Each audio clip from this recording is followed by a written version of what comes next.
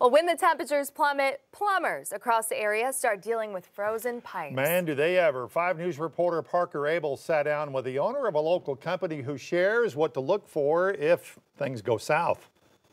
While many people have been off the last few days due to weather, plumbers haven't had that luxury as they've been going from house to house fixing pipes that have been frozen, and they don't expect business to slow down anytime soon.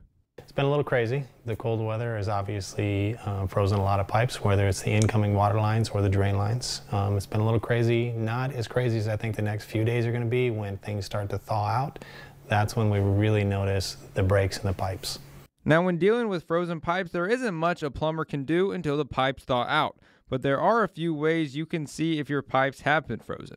Those are probably the two key things that I would I would say listen for. If you hear hissing, it's probably a burst pipe.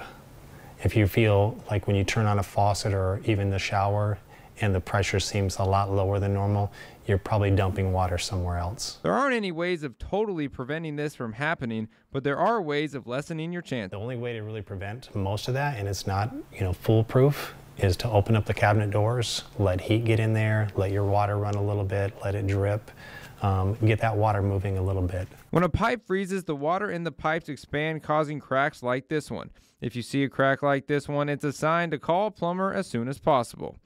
In Bentonville, covering news where you live, Parker Abels, 5 News.